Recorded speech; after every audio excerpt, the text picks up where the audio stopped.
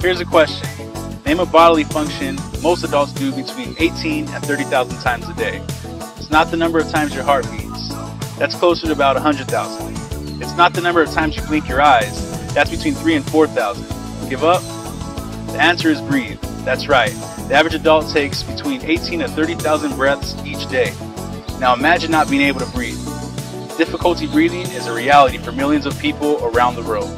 According to the Center for Disease Control, 1 in 12 Americans suffer from asthma. I'm one of them. Never being one to just sit around and clutch my inhaler, I started doing some research about asthma and other diseases of the lungs like bronchitis, tuberculosis, and cystic fibrosis.